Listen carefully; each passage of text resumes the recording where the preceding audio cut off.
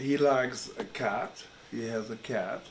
So he is a good person. He has a mill, but he is just jealous. And out of jealousy, people even kill. And I have no makeup, so it's not. I'm in a makeup room here, but I, I could call it also the dirt room because all, only what they do is they uh, put some dirt in my face, in my hair, and make me look like look like I'm working in the fields.